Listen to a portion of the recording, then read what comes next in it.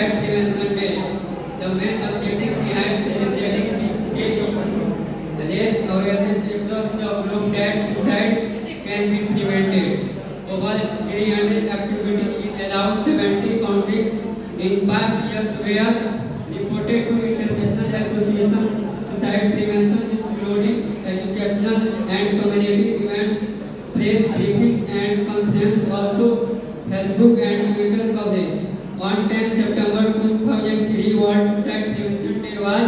was in 1940 Preventing Suicide, a global initiative focus on suicide prevention and make it a high priority on the global public health agenda of the world.